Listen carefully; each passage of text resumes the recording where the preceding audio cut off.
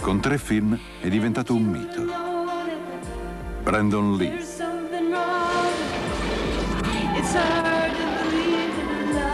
Italia 1 dedica una sera alla leggenda di Brandon Lee con due film. Alle 20.30 resa dei conti a Little Tokyo e alle 22.30 una prima visione assoluta. Laser Mission. Domani sera a partire dalle 20.30 su Italia 1 la leggenda di Brandon Lee.